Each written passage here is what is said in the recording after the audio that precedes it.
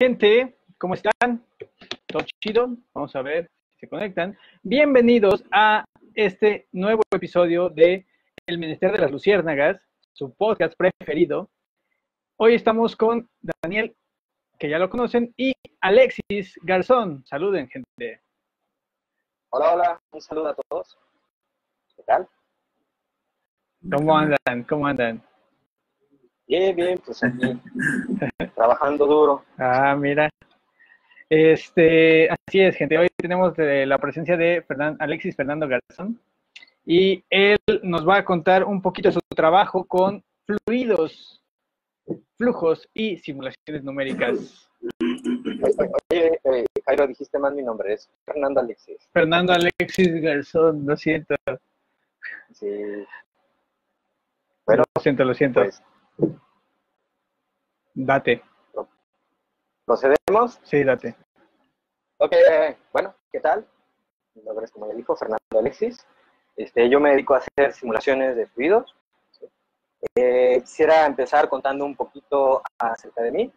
Yo estuve este, estudiando con eh, mi, mi buen amigo Jairo, ¿sí? es excelente compañero del, eh, y bueno, estudié con él la carrera en eh, licenciatura en ciencias, así que bueno, tengo esa preparación en física. Sí, Y, y bueno, posteriormente, ya este, en un tramo avanzado de mi carrera, pues llega un momento en el cual todos nos preguntamos, eh, bueno, ¿y ahora qué? No? O sea, ya casi de acabar nuestra carrera nos preguntamos, ¿ahora qué sigue? Bueno, a mí me gustó o me llamó la atención mucho el área de los fluidos, por quizá dos cuestiones. La primera ah, es más que nada bueno, en dos cuestiones, voy a dejarlo así, matemáticamente y eh, pues muy personal. Entonces, matemáticamente, ¿cuál es esta cuestión?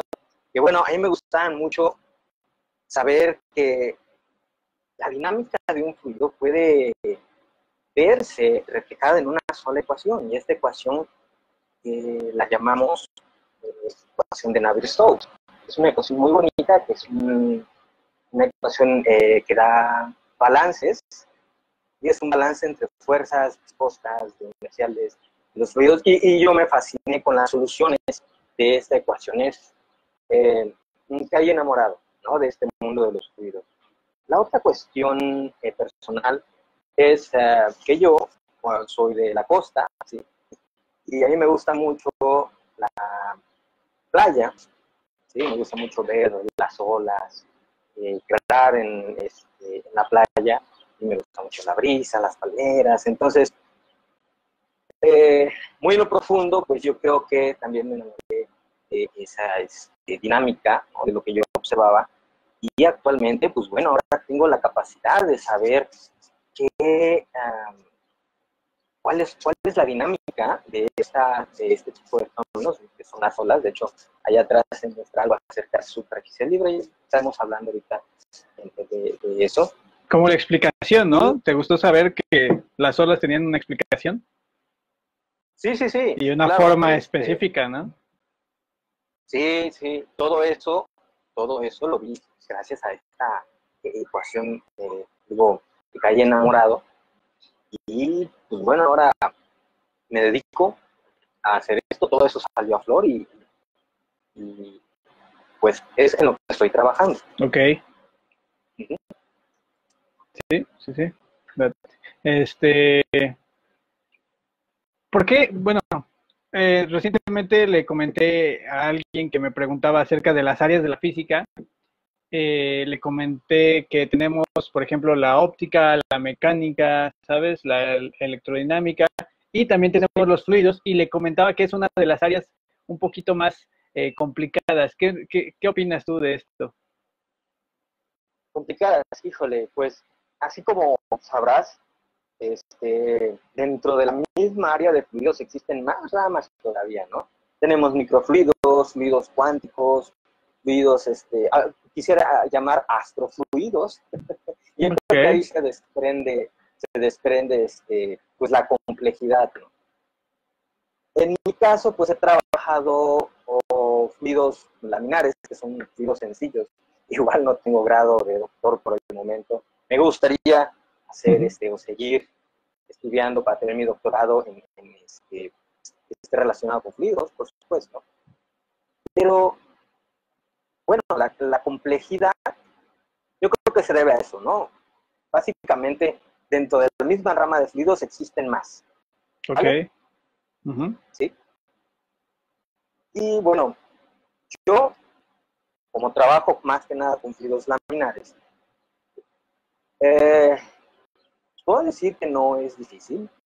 No es difícil porque, digamos que tienes, ya has este, cursado algo de física ah, básica acerca de fluidos, pues bueno, yo creo que tienes la mitad de lo que tienes que saber. Después lo demás es preparación, entender eh, todas las ecuaciones implicadas en este sistema de fluidos laminar. Y a mí me costó más o menos un año, mm, no para entenderlo, sino para llevarlo a la computadora, para hacer la simulación de un fluido laminar. Ok. alrededor de un año. Pero previamente, como dije, este, yo ya tenía una preparación física y eh, ya tenía el 50% de lo que hay que entender en eh, fluidos, más que nada en, simulación de fluidos. Y lo otro, yo creo que es importante, hablando de la complejidad, es la programación. Y yo creo que hoy en día eh, ya todo científico debe saber programar. ¿sí? Y, y, bueno, en simulaciones es, es importante o muy básico, no sé cómo decirlo, es, es, lo, es lo esencial para poder hacer simulaciones también, la programación. En cualquier lenguaje que tú uses, Python, C, Fortran, no importa, no importa. Okay. que sepas programar, que entiendas la física que está detrás, ¿sí? Y pues, pues adelante con la simulación. Okay.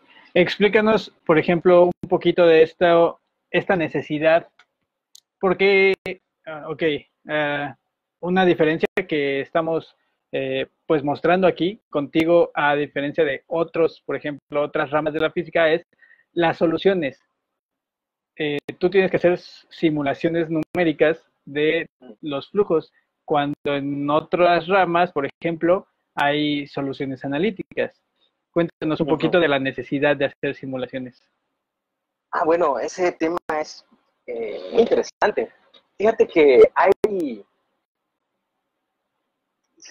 nuestros profesores dirían, hay dos formas de hacer ciencia hoy en día. La experimental y la teórica. ¿Verdad? Bueno, a mí me gustaría agregar una tercera forma, que es uh, las simulaciones. ¿Por qué? Porque miren, en simulaciones lo que nosotros hacemos es, tomamos un modelito teórico, ¿sí? Como dice Jairo, hay soluciones analíticas que eh, este, describen el comportamiento del sistema en cuestión.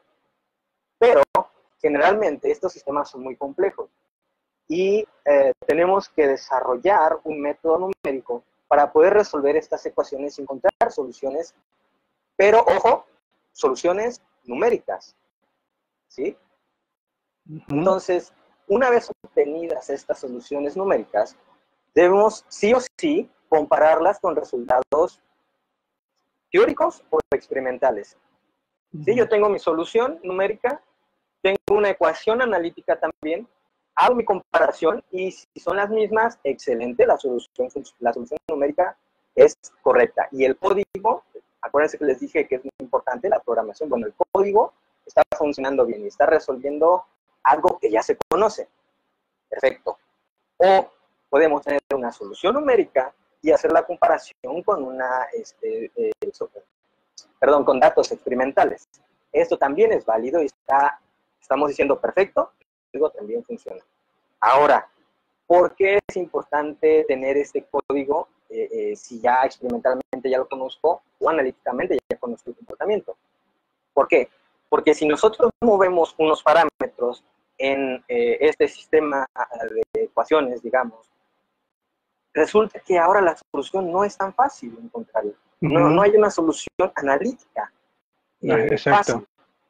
Entonces, pero mi código, como ya pasó la prueba más este, sencilla, que es encontrar algo sencillo, pues bueno, si yo muevo este parámetro, pues me encuentro una solución y puedo tener la certeza de que esa solución voy a, tener cuando yo haga, cuando, bueno, cuando yo encuentre quizá en algún futuro este, una solución analítica, pero ya con otro parámetro, ¿sí? Cambiar los parámetros, pues cambia el comportamiento del sistema, eh, ya sea poco o totalmente, ¿vale? Ahora, hay lugares en los cuales nosotros no podemos hacer experimentación. Por ejemplo, convección térmica en el, eh, el núcleo de un planeta. Pues bueno, hay modelos, pero no podemos hacer experimentación. Entonces, si nosotros entendemos la física y estos modelos teóricos y los simulamos por computadora, entonces podemos darnos una idea de lo que ocurre allá abajo. ¿Vale? También para eso nos sirven las simulaciones, para lugares en los cuales no podemos meter la mano. Y ahí están, este, claro ejemplo, tuviste creo hace poco a eh, eh, este, mi compañero Brando, que te habló acerca de agujeros negros. Sí, pues bueno, la imagen famosa de un agujero negro es creada en la computadora y este, eh, se observó ¿no? a partir de estos telescopios. Pero eh, si tú te fijas en, en toda la este, teoría que está detrás, hay modelos, hay, hay modelos, hay simulaciones de este agujero negro que, bueno, con lo observacional que se obtuvo, resulta que, son muy parecidos. Y de hecho hay un paper muy bueno de eso, de, esa este, observación. Sí. Sí, de esa observación, en el cual hacen una comparación con un modelo, con una simulación. Okay. Quiere decir que a este, a este modelo de agujero negro, si yo le modifico algo, puedo tener la certeza de que al menos es lo que voy a esperar, observar. Ok. Eh, por eso es que son muy importantes las simulaciones. Sí, justo que Brandon nos mostró, ¿no? las imágenes de, la simulación y de la real. Sí, totalmente. Sí, sí, sí, sí. Sí, como dice Alexis, necesitas eh, que tu simulación primero eh, concuerde, ¿no? Y ya después puedes jugar con cosas más difíciles. Justamente esta parte es importante, la de los parámetros. hay cosas que son fáciles resolver analíticamente con ciertos parámetros, pero ya si las mueves se vuelven un poquito difícil. Y el código, si le mueves el parámetro, probablemente siga resistiendo, ¿no? Y siga resolviéndolo porque ya está programado. Claro, sí, probablemente. También tenemos un margen de error, ¿sí? Debido puramente al método numérico. Ok. Eh, explícanos cómo haces tú tus simulaciones, Alexis. Bueno, yo sé programar en Fortran y en C. ¿Vale? Este, más que nada, Fortran es la formación que a mí se me dio primero. Me quedé con Fortran, después voy a explorarme a C.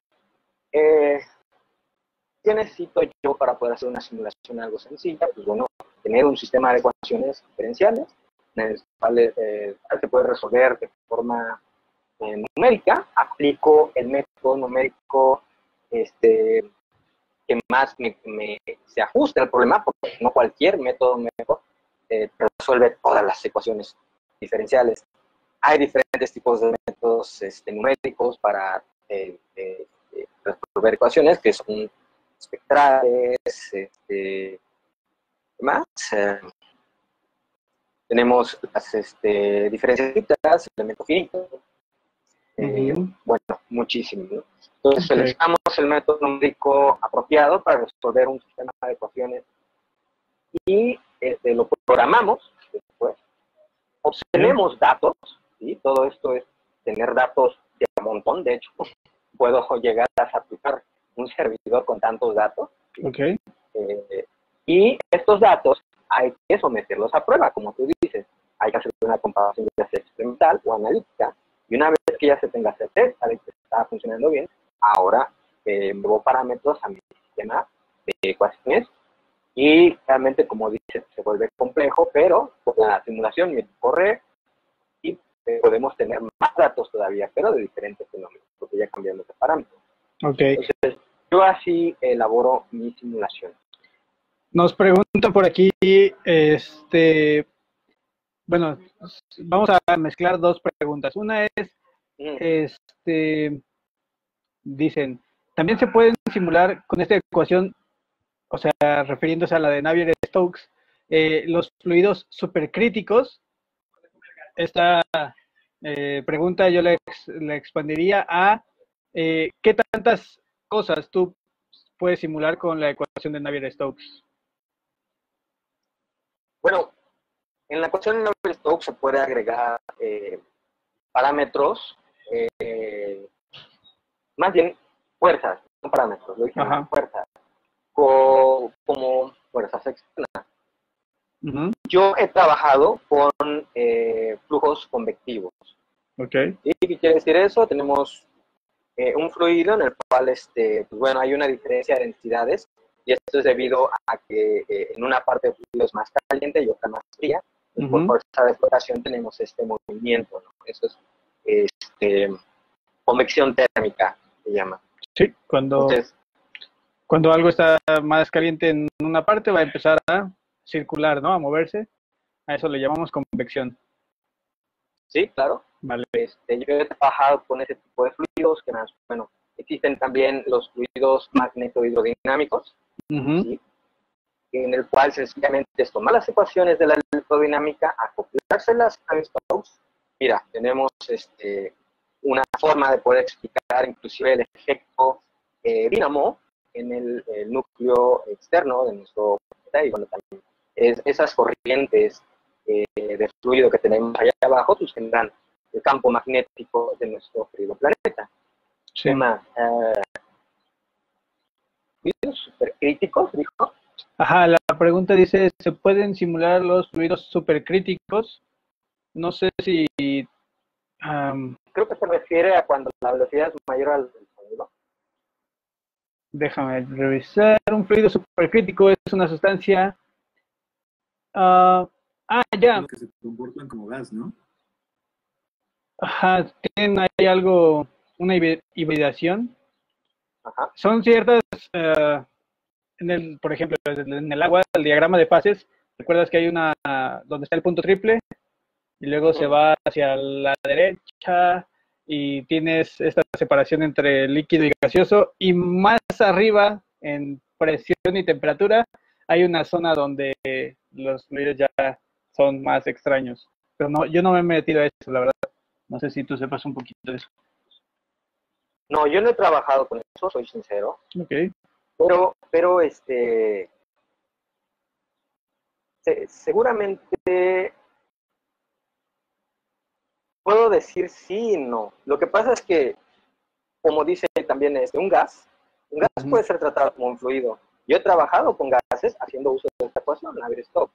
Ok. Eh, pero, pero más allá no, no estoy seguro. Bueno. No estoy seguro. Am, tenemos aquí otra pregunta que dice, está relacionada aquí a la ecuación de Navier-Stokes. Dice, ¿cuáles son los parámetros que utilizan para las simulaciones? ¿Qué es a lo que puedes llamar parámetro? ¿Cómo le Parámetro, bueno, un parámetro es el que básicamente un numerillo al cual tú puedes cambiar el valor. Ok. ¿vale? Hay un parámetro muy famoso en Navier-Stokes que es este, eh, el número de Reynolds. Básicamente el número de Reynolds es una, una razón entre las fuerzas inerciales y viscosas en un fluido. Ujú. Si tú subes el número de Reynolds, resulta que el fluido se vuelve muy, este, quiero tocar el tema, pero voy a decir turbulento. Ok. ¿vale?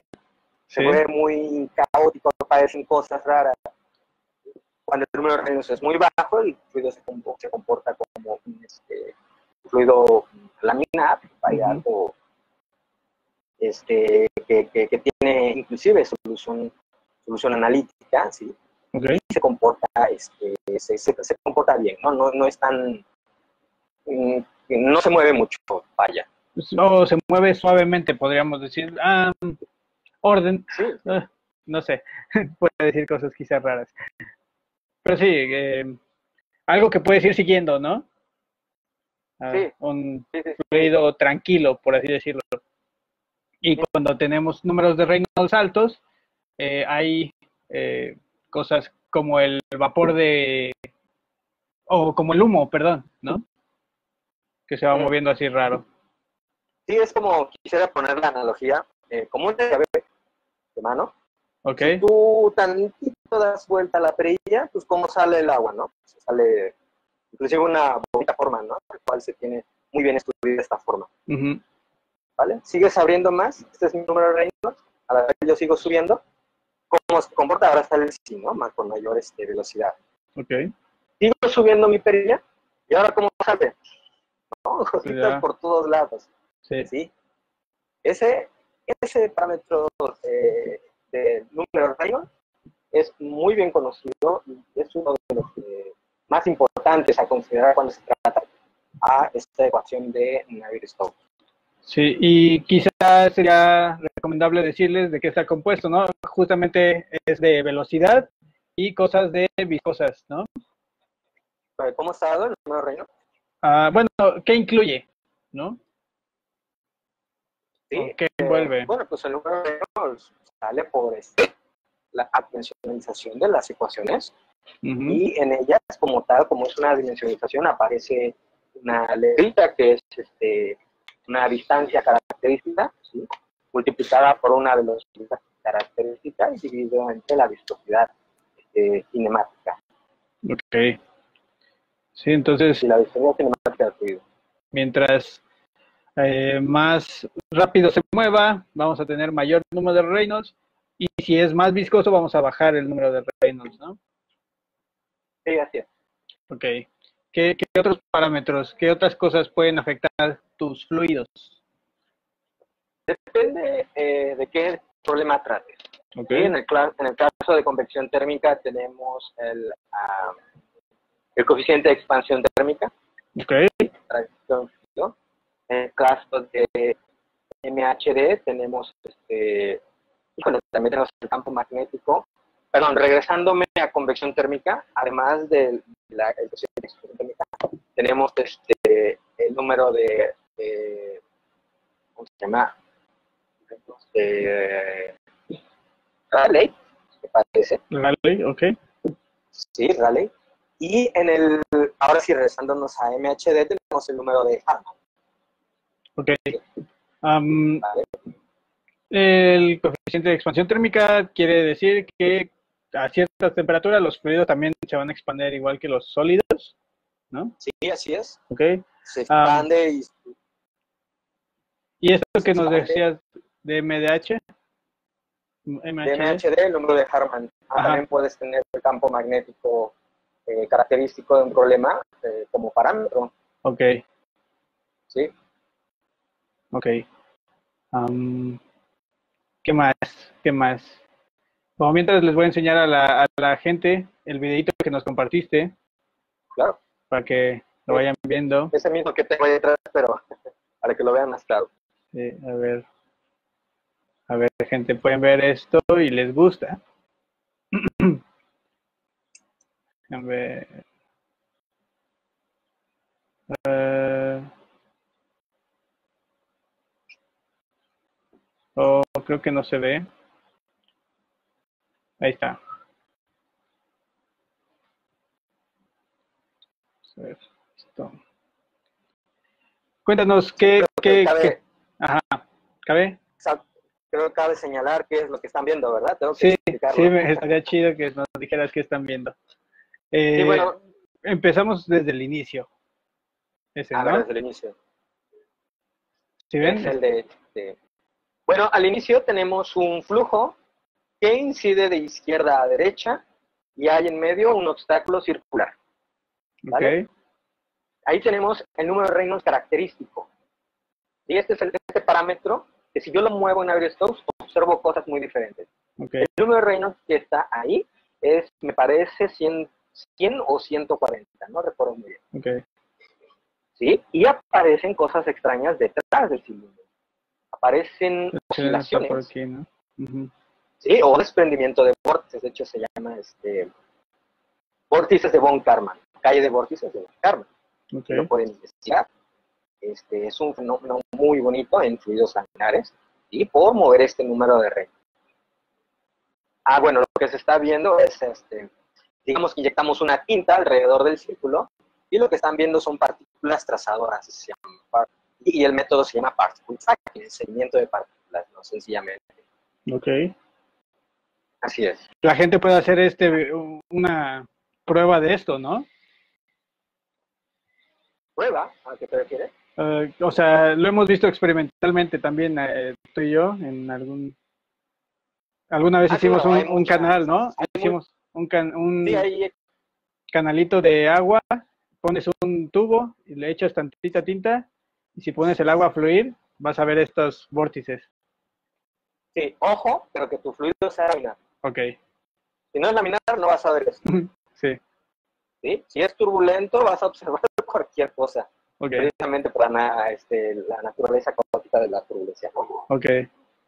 Oye, y me, se me viene el- como a la mente que si este patrón lo siguen, por ejemplo, este, las corrientes de aire, no sé, cuando se forman remolinos, eh, digamos, viene una corriente de aire y de repente, no sé, hay algo, no sé, una montaña o algo así, que hace que se formen estas cosas y se hacen los remolinos, ¿sabes?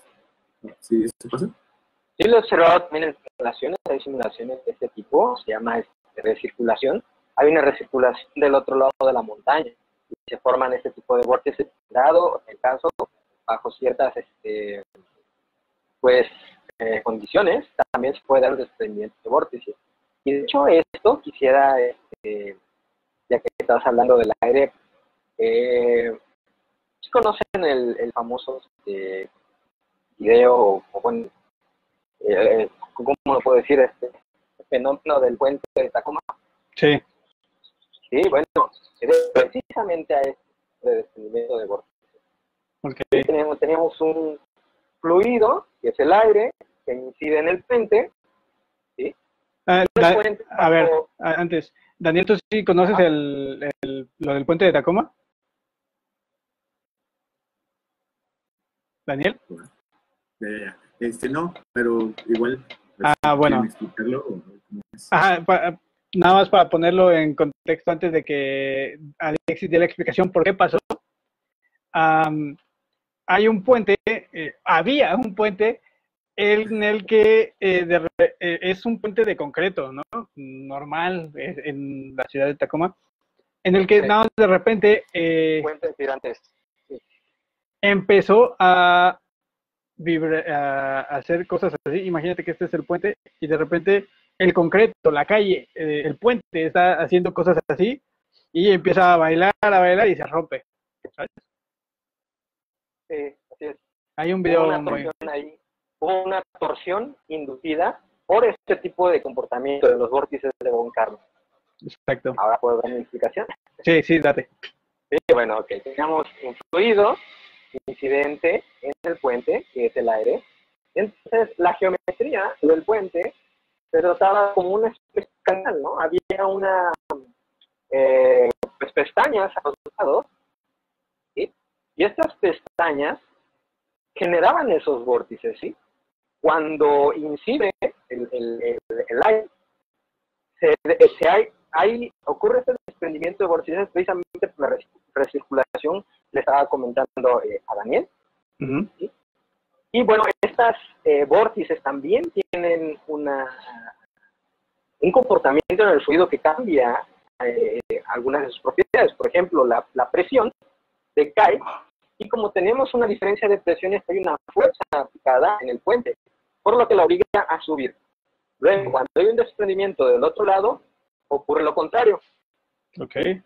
por diferencias de presiones que llevan estas, estas, monstruosidades son, son eso en, en la ingeniería civil, ¿no? En, en, en construir puentes, edificios.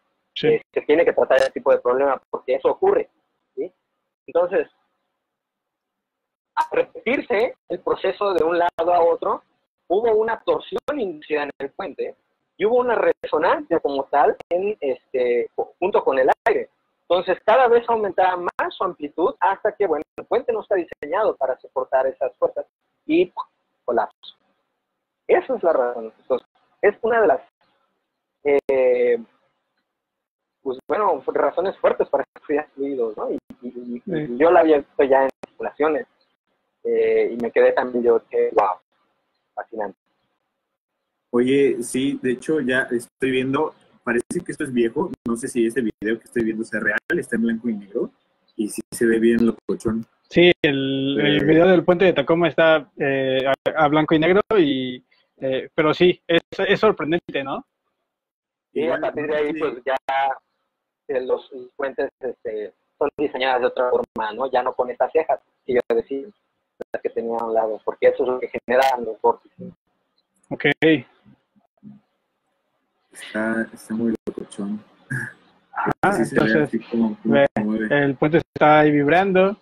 Y es justamente por lo que acabamos de poner la simulación que hizo Alexis, ¿no? De estos eh, remolinitos que van saliendo después de pasar por un eh, obstáculo y, como dice Alexis, eh, generan presión, eh, cambios de presión y una diferencia de presión genera una fuerza. Y entonces empezó a... Había fuerzas hacia arriba, fuerzas hacia abajo y empezó a oscilar. coincidió con las frecuencias del puente, este, la frecuencia del, de los vórtices y pues pero no, ahí va, ahí dice the crash. Así es, así es, Jairo. Ah, qué bien, Alexis, qué, chido que tenga, por ejemplo, esa super aplicación, ¿no? Claro que sí, ya hay más todavía. Como te digo, es muy importante evitar este fenómeno en construcciones, porque puede ocurrir lo mismo. ¿Te imaginas en un edificio? Mm, sí, supe de un caso, no tiene que ver con fluidos. Mm.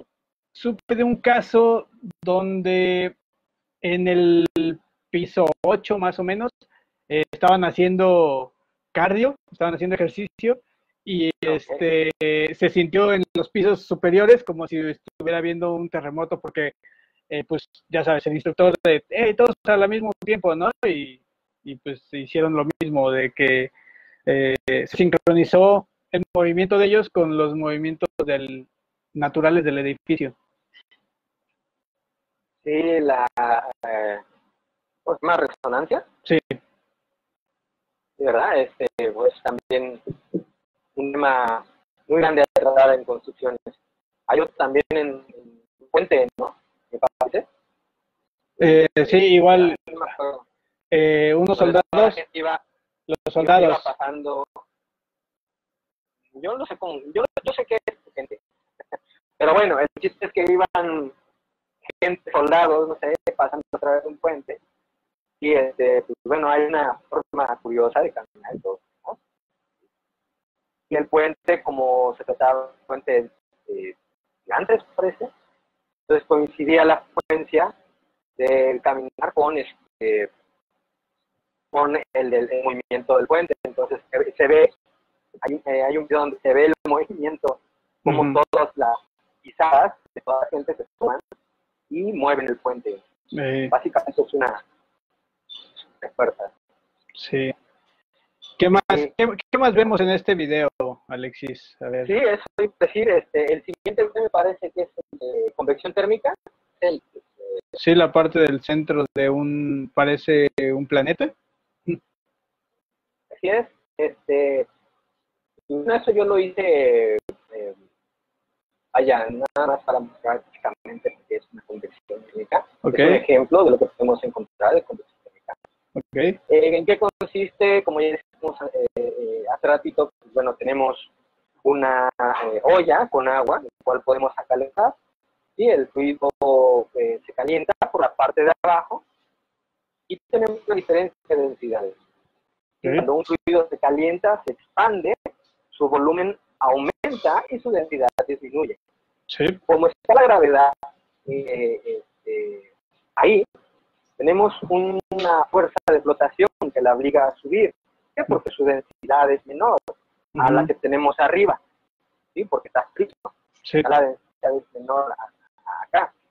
Entonces, este, sube, y por flotación, lo que está arriba cae, y tenemos, si dibujamos eh, el corriente, tenemos las llamadas celdas convectivas. Okay. Ahora, es el mismo fenómeno de cambio eh, de densidades en un fluido por temperatura, por combustión térmica. También lo podemos encontrar en el, núcleo externo, perdón, el núcleo externo de nuestro, planeta.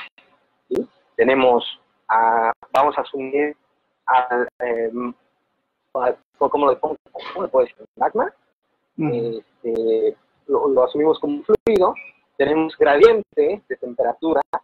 Eh, abajo tenemos más caliente debido a este, que la fuerza eh, de gravedad es mayor ahí. Y bueno, tenemos el derretimiento de material ahí más grande que acá. ¿no? Entonces tenemos este, una temperatura menor acá y el núcleo interno una temperatura mayor. Por convección térmica, pues también tenemos la gravedad, que se empiezan a, ocurrir estas celdas convectivas. Y hay dos fenómenos importantes eh, que se explican con este, eh, este, este, comportamiento de convección térmica. Una son los, eh, los sismos. ¿sí? También tenemos convección térmica cerca de, la capa terrestre ¿sí? que hace mover a, los, a las placas ¿sí? y en algunos casos chocar o separarse. Tenemos un planeta activo y hay que entender que este fenómeno no se puede predecir. Los mismos nos pueden predecir. Okay. Aunque tenemos modelos para explicar, simular algo del tamaño de un planeta es una locura. Ni siquiera las computadoras más grandes lo pueden hacer. Más potentes, perdón, no grandes, potentes. Y eso no podemos predecir el comportamiento. Okay. Eh, Ahora, el segundo fenómeno es el que te comenté hace rato del efecto dínamo. Como tenemos fluidos que se mueven allá adentro, eh, de tal forma... Alexis, perdón que te interrumpa. lo que pasa es que parece que nos acaban de bloquear el video y que ya nadie nos está viendo. es lo que vi, es lo que vi. Este, estoy enviando esto. La transmisión sigue y al final el video se va a guardar. Eh, pero uh, parece que algo sonó como material eh, registrado con derechos de autor y, nada más tenemos que, lo estoy reclamando de que tenemos el derecho de todo. Ok, no sé qué haya sonado. No sé. ¿Quién sabe si igual fue el video de YouTube? Uh, habría que checar. Puede ser. Voy a checar. ¿Sigue? ¿Puedo seguir dando mi explicación? Sí, sigamos. Este... Sigue, sigue. Ok, bueno, este, ¿qué estaba? Bueno, tenemos este movimiento en el núcleo interno de un fluido que siente, este, eh, tenemos un campo magnético y el movimiento que generalmente es un movimiento de tipo espiral. Okay. Tenemos corrientes, entonces tenemos cargas ahí que van a generar un campo magnético. Y esta es eh, la razón por la cual tenemos un campo alrededor de planeta, nuestro hermoso planeta. ¿Sí? Con este modelito de convección térmica. Es con, ah, claro, hay que agregarle MHD para este tipo de comportamientos. Y porque tenemos eh, cargas eléctricas. ¿Vale? Sí. oye, y fíjate, me surge la, la duda entonces, en estas simulaciones ustedes tienen todos estos eh, datos que, meten al, algoritmo para que puedan simular y que les dé esta imagen, ¿no? Eh, ¿Qué tanto este, pueden manejar esto? Porque, por ejemplo, eh, aquí hay una pregunta que, que, está bastante interesante, porque nos dicen, en cuestiones oceanográficas, ¿se podría aplicar esa ecuación para predecir el comportamiento de las corrientes marinas debido a los cambios en la temperatura, salinidad, etcétera, que propiciaría el cambio climático? Y de ser así, pues sería un estudio muy interesante y útil. Entonces, yo te quiero preguntar, ¿qué tanto de variables se necesitaría conocer en un aspecto así eh, de oceanográfico para poder simular esto y ver qué, qué va a suceder? ¿Ok? Pues mira, mi respuesta es, simular un océano no se puede. Jamás. Es muchísimo, tanto para la memoria de la computadora, manejar esa cantidad enorme de datos, jamás lo vas a hacer. Y la computadora más rápida que hoy existe puede simular un océano, así de sencillo. Lo que se tienen son estimaciones, aproximaciones de ese fenómeno eh, que, que estás comentando. ¿sí? Eh, sí, aún así existen estudios, hay simulaciones acerca del comportamiento atmosférico y de los océanos, pero, pero, son, eh, es como lo de la vaca esférica, ¿no? ¿Sí? Es como la primera aproximación de este comportamiento. ¿vale? No podemos simular un océano, sí, pero podemos simular una, una aproximación de este océano. Ok. Claro. Sí, sí, porque justamente, ¿no? O sea, hay muchas variables en un océano como para poderlas meter como datos a un programa, ¿no? Claro, claro. Sí, sí, está, está muy cañón. Y pues obviamente, si llegáramos a tener, ¿qué, qué es la limitante? La, la capacidad de una supercomputadora, si llegáramos a tener una que sí resistiera, ¿se podría hacer esto? A ver, ¿qué, se- qué, qué se tendría que hacer básicamente de tu pregunta para poder simular el comportamiento de un océano? Sí, Bueno. básicamente. Am, necesitamos una cantidad casi infinita de memoria para poder meter todos los datos. ¿Por qué? Porque necesitamos de cada uno de ellos para poder simular. Eso es solo un paso, ¿no? Solo un paso de- en el tiempo. Pero para dar el siguiente paso y conocer su evolución, necesitamos todos y cada uno de estos datos. ¿Sí? Eso quiere decir que necesitamos también una cantidad muy grande pero extremadamente grande de, de- de procesamiento de núcleo computadora, precisamente para poder procesar cada uno de estos datos. Y eh, este, pues quizá ahorita no se pueda, pero en algún futuro con la introducción de computadoras cuánticas, quizá, quizá, eh, quizá nos vamos a aproximar más al comportamiento real de un océano, ¿no? Sí, sí, sí. vaya, a todos los parámetros, quizás vamos a acercarnos más. Ok, ok. A ver, Este, pongo la, esta última parte del video. Ajá, En la última parte, lo que observamos es este comportamiento de superficie libre. Ok, déjame ver. Aquí está. ¿Ya, ya está? Ahí está. Sí, Tenemos en, una, este, en un recipiente un cubo de agua que tiene eh, originalmente, bueno, al, al inicio un- una forma de un cubo, ¿sí? o sea, un este, cuadradito que está ahí, y de repente, bueno, quitamos una, no se ve en la simulación, pero se quita una pared de, de donde está este cubo, y ¿qué pasa con el agua en presencia de la gravedad? Bueno, pues se empieza a mover, y tenemos ese comportamiento de, eh, eh, de ese fluido, ok. en este caso agua, con un obstáculo. ¿Sí? El, el- estudio de, de la superficie libre también es muy importante fluidos y las diferentes técnicas para simular son, eh, eh, depende.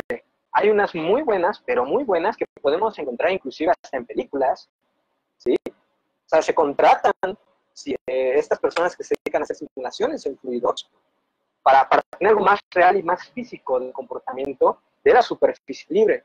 Entonces se contratan en las películas para hacer una simulación bajo cierta geometría y eh, eh, tenemos algo, como ya ves, este, un, un render fascinante que se ve muy real Muy bonito, sí. y se ve muy bonito. Ok. Así es. Em, eh, ¿qué, qué otras? Aquí teníamos otras.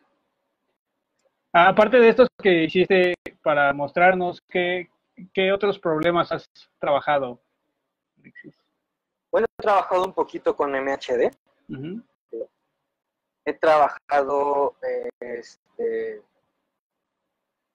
¿qué más? La convección me he metido muy de lleno. He hecho mi tesis fue de convección, eh, de convección este, térmica. Mm, y bueno, he trabajado con más cosas que no tienen que ver con fluidos. He simulado otras cosas que no tienen que ver con fluidos, repito. Ok. O este, no sé si sea importante mencionarlas. Eh, sí, como que... Bueno, he trabajado con este, fuerzas de marea, ¿sí? Este, he trabajado también con modelos, ahora que está esta situación del, del coronavirus, he trabajado con modelos GIR, que es este, un estudio pandémico de cómo evolucionan estas curvas de contagio. He trabajado con ah, un proyectito que colaboramos, este sí tiene que ver con fluidos, colaboramos en Francia con este mezclado, ¿sí? en un fluido tenemos una sustancia, o bueno, dos sustancias, en el cual ponemos a girar todo el fluido en cuestión y empieza el, proceso de mezclado. Y esa fue una colaboración este, con, el extranjero. ¿Qué más? Eh, bueno, los pocos cuatro años que llevo haciendo eso, pues, pues siento que eh, es inclusive mucho o pues se ve poquito, pero pues es que la cantidad inmensa para poder entender la física que está detrás. Sí, es una chamba, ¿no? De información sí es una chamba. Tengo que decirlo. Elaborar, yo creo que es muy importante decir que elaborar un código de simulación, al menos para los videos que acaban de ver, si no es de la noche a la mañana, lleva su tiempo. Estamos hablando de eh, pues semanas, inclusive meses, para poder tener algo así, para poder programar lo que vaya, que vaya bien, que truene, como se dice. Que no truene es que este, todo esté evolucionando correctamente, que no haya errores numéricos. Ok. Sí, eso. Bueno. Pues como, eh, bueno, esta charla estará disponible eh, futuramente. Ahorita nos quedamos sin gente, entonces nos quedamos sin preguntas del público. No sé, Dani, si tú tengas alguna pregunta. Eh, pues fíjate que, mi, bueno, mi duda más que nada es en el aspecto de lo que acabas de comentar, de que son semanas y hasta mucho tiempo para programar algo así. Eh, yo me imagino, y por lo que dijiste, pues tienes una formación bastante sólida en programación, ¿no?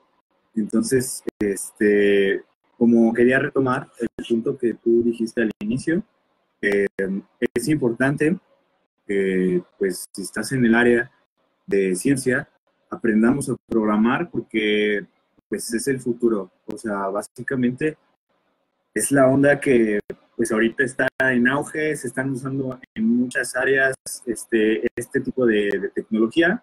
Y, este, bueno, Jairo, lo ha hecho ah, con sus cosas este, de su tesis. Yo también en mi tesis he trabajado, a lo mejor este, desde puntos distintos, lenguajes diferentes, pero pues sí está, está muy chido. Y algo que yo he visto con mis compas de biología, porque cabe mencionar, en biología, eh, la carrera de biología como tal, pues no nos enseñan absolutamente nada de eso, ¿no? Pero pues uno puede ir aprendiendo por su parte y no hay que tenerle miedo, ¿no? A esta, a esta onda, nada más es como de, bueno, sí te la vas a talachar un ratito en lo que aprendes conceptos, pero ya que le agarres y lo sigas practicando, va y va, te va a ir jalando, ¿no? Entonces, qué chido, se ve que te digo, lo, lo manejas muy bien. Sí, como dices Daniel, este, es muy importante hoy en día ya este, saber programar para cualquier científico. Es una herramienta, básicamente la computadora, porque, pues, este, como ya dije, pues, la, de esta importancia que tenemos en simulaciones, y no solamente para hacer simulaciones, si, eh, si queremos analizar datos experimentales, es muy necesario, y, si, si, es una cantidad grande de datos, hay que saber programar para poder, uno, leerlos, dos, manipularlos y tres, guardarlos en cualquier lado de, de, de, mi computadora, inclusive sacar un, eh, paper, una publicación acerca de eso. ¿sí? Entonces, es, es muy importante hoy en día saber programar, sí o sí. Y para todas las aplicaciones que tiene, ¿no? Biología, física, fluidos, óptica. Yo creo que todo está ahorita, ¿no? O sea, igual, como dices, algo, pues pareciera como sencillo el manejo de datos, pero justo como dice Alexis, cuando ya trabajas con muchos datos, por ejemplo, que en mi tesis yo trabajé con 237 archivos, donde cada archivo tenía más de 1.600.000 letras, pues es como, tienes que eh, hacer un manejo, pues no, no puedes hacerlo a mano, vaya, ¿no? O sea, tienes que encontrar cómo, cómo este, hacer estas ondas. Entonces, pues sí, ¿no? Eso es, la chamba de ahora. Sí, apoyarte de, justo la computadora es una herramienta, dijo Alexis, y sí, si tiene la capacidad de hacer cálculos o de guardar en memoria eh, ciertos datos, pues ocupar eh, esas, esas, eh, esos beneficios y usarlos, ¿no? Porque no vas a estar haciendo cuentitas a mano, no vas a estar eh, aprendiéndote las cosas, ¿no? Más cuando tienes muchas, muchas cosas que hacer. Sí, es ocuparla.